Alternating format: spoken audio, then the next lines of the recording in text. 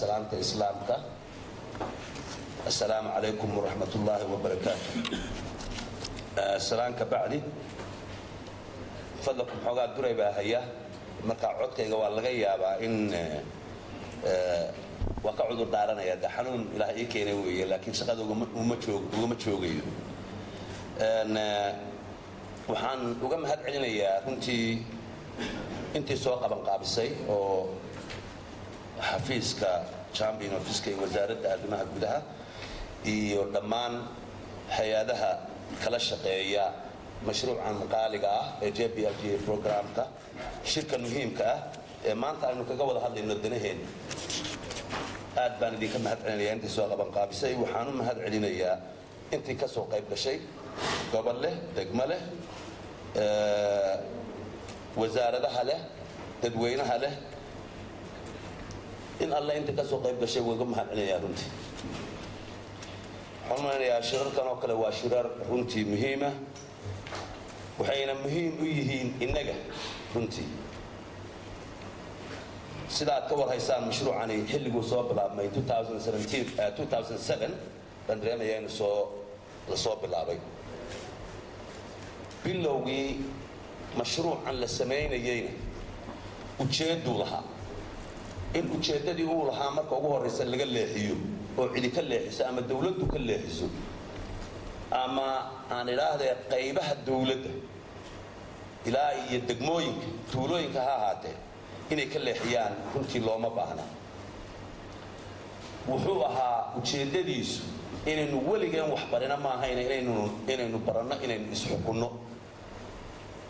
Inaynu baranno inaynu wax isu quudhno inaynu baranno dawladnimada iyo habka lacagta loo bixiyo. Ee loo bixiyo weliba khaasatan cashuurta dawladda dawladi taano taanay ururisaa lacag bay ka samaysaa lacag bayna noqotaa horumar badan jaamacado caafimaad wadooyin nooc kastoo aad eegto dawladi waxay wax ku bixisaa mushahar waxay wax ku bixisaa muxuu ahaa koobka shaaha aad cabayso iyo inta yaree dul saaran. Waxaan xusuustaa magacaabi maayo si guud waxaanse xusuustaa habeen habeenada ka mida baan dad baan casumay hoteel baan geeyey. Ka mida hoteelada restooranada am sorry restooran ka raashinka laga cuno. Innaguna hotel baynu u naqaanaa laakiin waa ka la seexdo xaggaa marka la joogo. Ka kalena restaurant baa loo yaqaanaa. Ka wax laga cuno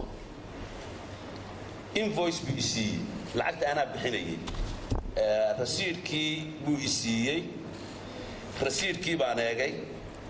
Waa garoowe.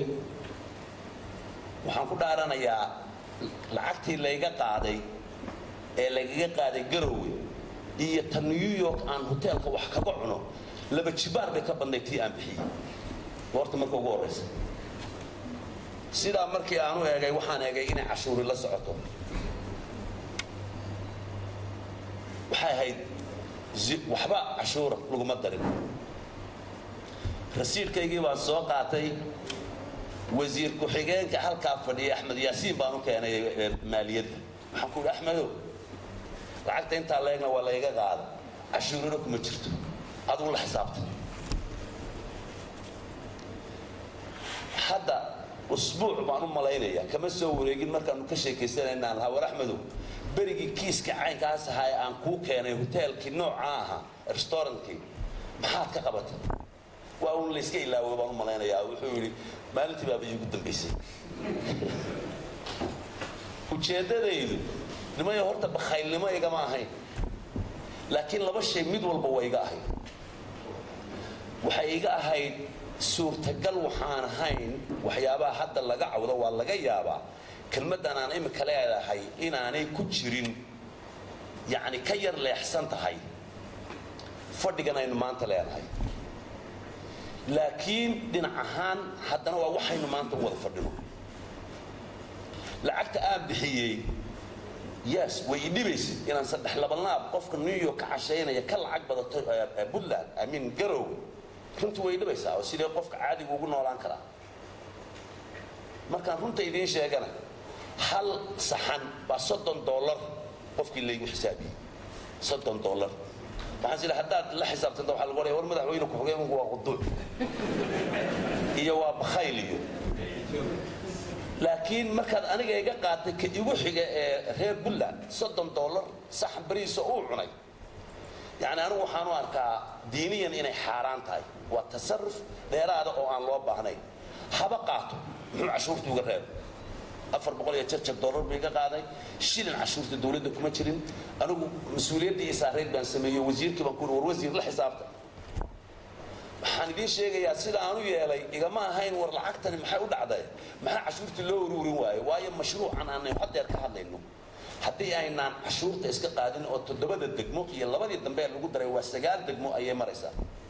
Waxay ahayd toban degmo inay noqoto. Waxaa ku jirtay qandala laakiin sababo cillado jira aawadood. Baan qandala ilaa iyo imka lagu darin. Waase lagu darayaa insha allah wakhtiga soo socda haddii aan laydmo haddii qof walba ay dhibto rasiidka la siinayo ee wax ku cunayo haddii aan cashuurta lagu soo darin uu ku xisaabtamo yidhaha war maxaa cashuurtii loo qaadi waayo waxaan hubaa.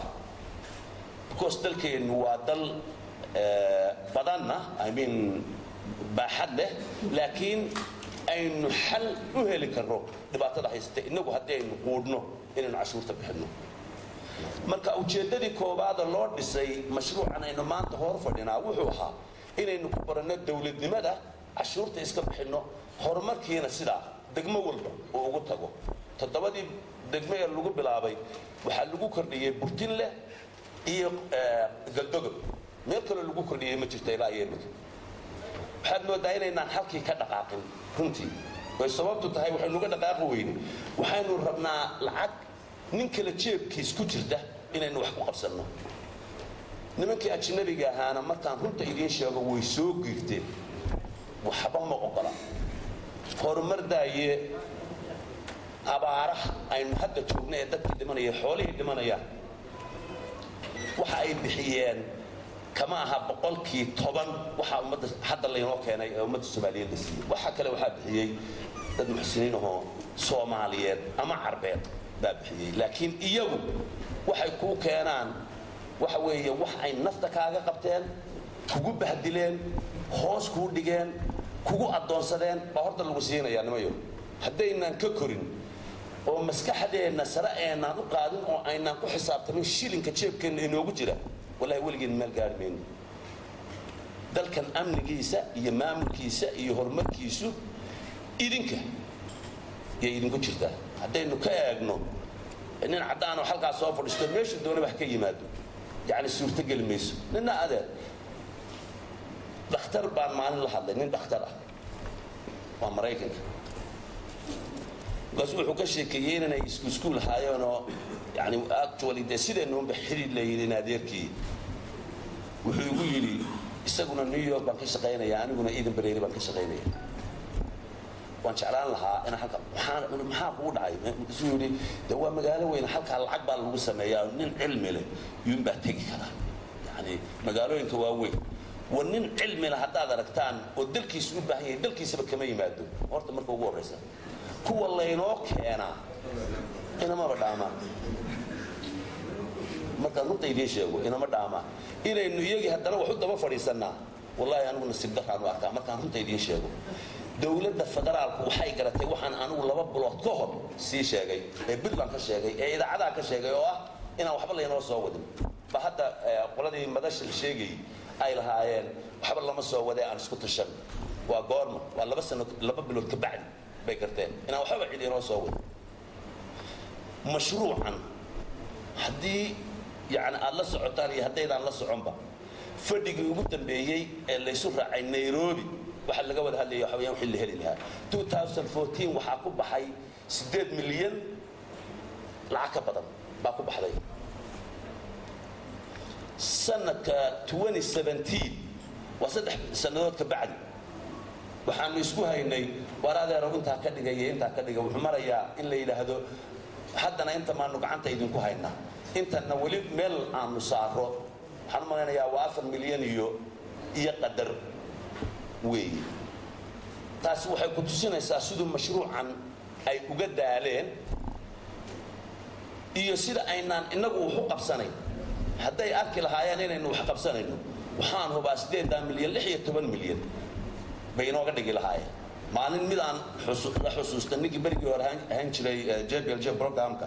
Yaa wuxuu yidhi haddii ay dhacdo in aad for example waa 2014kii ay dhacdo november oo kale mashruucii laydinku talagalay inaad dhammaysataan october november meelaha haddaad dhammaysataan waxaa idiin siyaadaya waxsiinta laydin siinayo. Waxaan ku yidhi waayo waa isku dayaynaa waxay sameeyeen hawshiiba waxay ka dhigeen baalkan la yidhaahda ganjadii iyo baalkii midba meel yaale la isla doono. Waa irbad dunahoo lagu yidhi irbad iyo duntioo lagu yidhi labadoodii is isgeli yani siday meesha ku yartahay waad arkaysaa moogta weligaabay isla heli mayse mashaariicdii badh lacagta idinla hadhayaan kontraagii bay la hadhayaan halkan bay meel kaley kaa soo galaan waayi mayse iyagunbaa dib kuu dhigay si aadan u dhammaynin oo lacag dheeraada u helin ee aad ugu xisaabtanto wartii 2014kii xoogaagii iga hadhay 2015ka igu dar argumentku uu noqdo ama muranku uu noqdo war lacag baa iga maqana isiiya hadda mid dheeraada weydiin maysid oo tii kaa maqnayd umaad weydiinaysaa. Dhinac kasta waxay kuugu dhigayaan inay dib kuu dhigaan. Qof wax saa loo galaa markaan runta idiin sheego mashruucan waxaad moodaa inuu soo dhammaanayo? Waxa weeyaan wejigiisii labaad sidaad ula socotaan orayna wuu dhammaaday kiisii saddexaad. Weeye kan bilaabmaya 2017 2018 waxa weeyaan isagii bilaabmi lahaa 2014 anigu ma hayo kii lacagtii lagu isticmaalay runtii ma eegin. Laakiin 8 million plus baynu isticmaalna maantana wuxuu marayaa yani half yuu maraya 18ka waxaa laga yaabaa inuu ay dhahdaan adeer extensionba ma jiro. Waanu ku tuugayna waar adeer kordhiyo balfays saddexaad iyo wax raadraadiya intaanu yani bal dhulka cagaha la helayno weeye. Shirkani wuxuu muhiim yahay oo inaga muhiim inoogu yahay waxay tahay ujeeddadii ugu horraysay ee lagu bilaabay jblg programka inaynu ka wada hadallo inaynu simbly isu nimaadno oo biyo qabow ku wada cabno. Tiifiyadana laynaga arko maaha muhiimaddu. Muhiimaddu waxa weeye inaynu wax isla garanno waxaynu isla garannay isku raacno dabadeedna ka dhabaynoo waxqabad u bedello weeye. Waxaan idinka rabaa bliis wakti baad geliseen waad soo baxdeen qof waliba degmadiisii iyo reerkiisii iyo wuxuuga yimi waa dan guud oo dalka ah baad uga timaadeen. Marka ugu horraysa waa qodobo wax ku ooli ay ka soo baxaan qodobadaa waxaan idinka rabaa inay ku jirto degmo kasta oo mashruucani hadda uu gaadhay inay bilowdo in cashuurtii iska qaado oo aanay sanadka soo socda jblg waxa kaa soo gaadhaa hadda bal dib u raaca markaad dib u raacdaan mashruuca gebigiisaba dib u raaca. Waddo yaroo boqol iyo kontona boqol iyo siddeetana laba boqoloo laba boqoloo kun oo dollara weeye walla haddaynu masaajidka jimce iska taagno baynu ururin karnaa. Masaajidka intaynu iska taagno baynu hal jimce afar waddo dhisan karnaa. Iyagu three kilometers bay dhisaan iyo two kilometer bay dhisaan.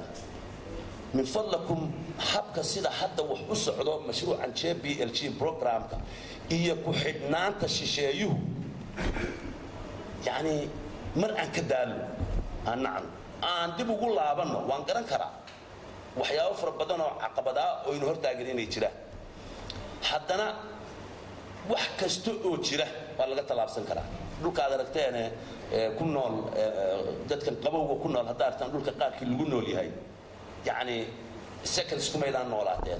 Haddana dad baa waxay bartay dhibtii baa waxay bartay inay habka ugu noolaan lahaayeen la yimaada. Keenan aad garanka yani sanadka oo dhan garan baad gurigaaga ku hor fadhiisanaysaa dhaxan male baraf male kulayl ku dilaya male heat wave yani dad qaar baa marna waxaa ku dhacaya qabow dilaya marna waxaa ku dhacaya kulayl dilaya. Midna male soomaaliya. Sanadka oo dhan waxaad doontaad samayn kartaa. Min fadlakum shirkeennani waa shir muhiimah muhiim ha u noqdo in qodobo wax ku oolih ay idinka soo idinka yimaadaan waxaan idiin sheegayaa mashruucan afka uunbuu ka soconayay mid waa ka cudur daaranaynaa runtii. Mid waa ka cudur daaranaynaa dowlad ahaan mas'uuliyaddeedana qofka ugu horreeya qaadaa anuu noqonayaa runtii. Xoogaa isku xidhnaan la'aan mashruucii laftiisii waa jiraa caqabadaha ugu badanba ha yeesheen hay'adahan yaryar ee ku bahoobay mashruucan haba yeesheen. Laakiin isku xidhnaan la'aan xaggeenna lafteedii waxaad moodaa inay wax badan inaga dayacday? Waxaan min fadlakum idiin sheegayaa labadii kun iyo lix iyo tobankii toddobiyo tobankii waaba cusub yahay. Iminkana oraydi bishii afraad baynu maraynaa oo sii dhammaan rabtaa. Wax la qabtayna male 2016kiina sidoo ahaa. Ma ahayn diidma aanu diidannahay ma ahayn waxqabad la'aan ma ahayn. Ma ahayn inaanaan awoodin ama khibrad lahayn laakiin waxay ahayd mar walba dabada un baa nala jiiday halkan kaalaya dhoonaradu iman maayaan muxuuha garoowe iyo puntland waxaad noogu timaadaan xaggaa markay tagaan wasiirada iyo madaxda kale ee dowladdu yaa la odhanayaa dhoonaradii labaa timi ama mid baa yimi raalli naga ahaada waxaana lagu khasiray diyaaraddaa keliya. Mid baan ku yidhi soddon qof buu diyaarad la saara i remember waan xusuustaa waxaan ku yidhi soddonka qof uma babaahni waxaan u baahnahay inaan ku shiro cabdisaba baa la aadaya markaa i remember. Waan xusuustaa waxaan ku yidhi cabdisababa uma baahnine waxaan u baahannahay b d r c hall inaanu ku shiro ciddii noo iman kartaa noo timaado lacagta lagu isticmaalaya diyaaraddana ama anagu seefgarayno wadda ku dhisano haddaad labada dhagood yeyso goyso ku yeeli maaya. Because dantoodaa taa ku jirta. Shaqa uma iman dalxiis bay u yimaadeen hoteelada waaweyn bay iska galaan shariton iyo mariot iska galaan seexdaan daranka qofka ku dhimanaya halkan ama horumar u baahan iyaga waxba ka geli maayaan hay'adaha j b l g ku bahoobay. Runtii waan dhallaacaynaya waxaan ku dhallaacaynaya waxqabad la'aan. Laakiin hadday inaga arkaan inagu inaynu iscaawinayno oo wax qabsanayno yacni innagaan baryin bay waxayna siinayaan. Hadda inagoo baryaynay ina diidayaan moogta hadday arkaan inaad ka maarmayso kaa tegi maayaana dacalladaa lagu qabsanaya min fadlakum aan gaadhno heer allaha inaga koriyo heer aynu wiil yar meelu ka yimi aynaan garanayn tafaha qabsanno ilaahay haynaga koriyo isaga qaadir qafuur raxiime aan ku fakaro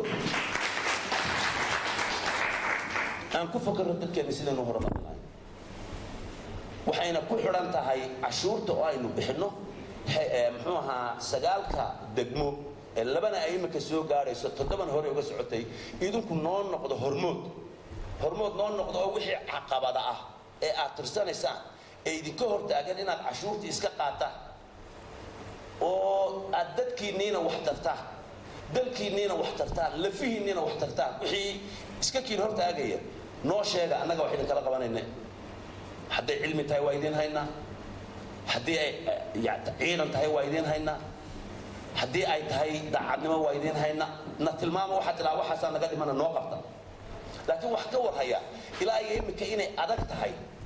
Dhowr meelood baa laga qaadaa. Waa boosaaso iyo qardhe iyo garoowe iyo gaalkacay.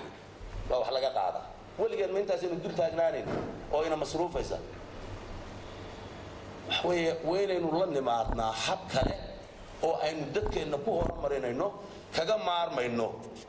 Muxuu ahaa baryadan faraha badan iyo j b l g programka afar milyan iyo xoogaa yar afar milyan iyo laba boqol iyo boqol iyo siddeetan iyo laba kun. Waa intaa weeye waxaynu haynaaba waa intaa weeye maxay noo qaban kartaa. Taas baa laba jeer marna xaggaa loo aaday oo xamar la aaday oo xaggan la aaday oo meeshan la aaday. Xoogaagiiba waxa weeyaane loogu talagalay intaasaan ururinay intay ururiyeen saddex meeloodo laba meelood iyagaa qaadanaya waa diyaaradooda iyo securitigooda iyo gaarigooda bullet proofkaa weeye. Intii kalena bahdilun baa lagugu samaynaya min fadlakum aan ka korro ilaahayna waxaan ka rajaynayaa inuu ilaahay ina garansiiyo. Shirkan aynu isugu nimin ha noqdo shir wax ku oola oo muxuu ahaa go'aamo dhab ah oo cadcad oo idinkana aanu idinkula shaqayno. Muxuu ahaa idinkuna nagula shaqaysaa dadkeennii iyo dalkeennii hadday amni tahay iyo hadday horumar tahay iyo hadday nooc kasta tahayna hore loogu qaadayo. Waxaanubaa haddii toddobadaa degmo ama sagaalkaa degmo taa sameeyaan inta kalena inay raacayso waddada kuwaasi maray ay mari doonaan. Laakiin min fadlakum maalin walba yana halkan isugu yihiin sannadkii hore ahayd kii ka sii horreeyay bayd kii ka sii horreeyay intaa waa un xiiqsanayn goobta geedkaana weli maynaan gaadhin. Waxaan ku soo dhaweey ku soo gabagabaynayaa wasiir aniisa dee waa cabatay? Waad maqlayseen waxa weeye dumarka doorkooda hala siiyo weliba anigu markaan runta idiin sheego. Waxa weeyaan waan qabaa fakarkay qabto oo ah. Meelay qof dumar igaga maqan tahay baanan garanaynba waa i dhashay waa ila dhalatay waa ii dhaxday. Yani you name it.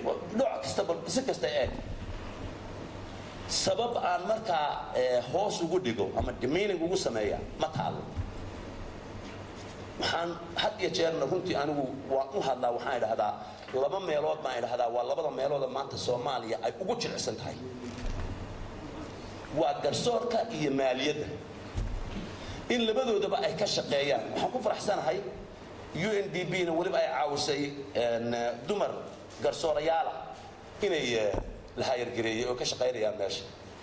Waxaan ku boorinayaa gabdhaha inay looyarnimada ay bartaan. Si ay u qabtaan muxuu ahaa garsoorka sacuudigaan ku arki jiray markii uu fasahaado garsoorka in la haayargareeyo ama loo qoro jaj laga dhigo nin indhalaaba aan kala garanayn ka la hadlayaa inuu ina came yahay iyo inuu yahay ina caligaas. Nimaan garanaynba haddaba waxaan qabaa haddii raggii taa laga waayo dhinaca dumarka aan ka eegno waan qabaa. Waa garsoorka dhinaca maaliyadda lafteeda in badan baanan u advocate garaynayay u hadlayay iminkana waan qabaa. Wasaaradda maaliyadda in dumar fara badan loo qoro. Bal horta soomaaliya halkan inaga dhiga. Waxa weeyaan puntland markaynu nahay baan ka hadlayaa. Puntland baynu ka hadlaynaa. Probably haddaynu inagu bilowno. Waan ogahay waan tiriyaa wasiir baa ka ah somalilan qof dumaraa ka ah wasiir maaliyadda. Isku siyaasad ma nihin. Aniga somalilan laakiin trust me markii gabadha loo magacaabay wasiirka ilaa bay ugu ku ammaanay waxaan ku yidhi good. Waayo waxa weeyaan qofka dumarihi si kasta oo ay yeesho waxay qaadataa maaha wax ee wax ku yeelaya.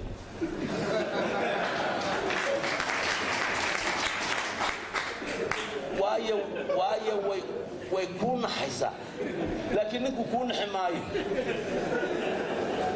marka min fadlakum taa ay ka hadlaysay wasiir aniis waan soo dhawaynayaa wasiir aniisa waa kaala shaqaynaa wixii caqabadana. Kolleyba anigu diyaar baan ku ahayd mar walba waanaad ku mahadsantihiin aad iyo aad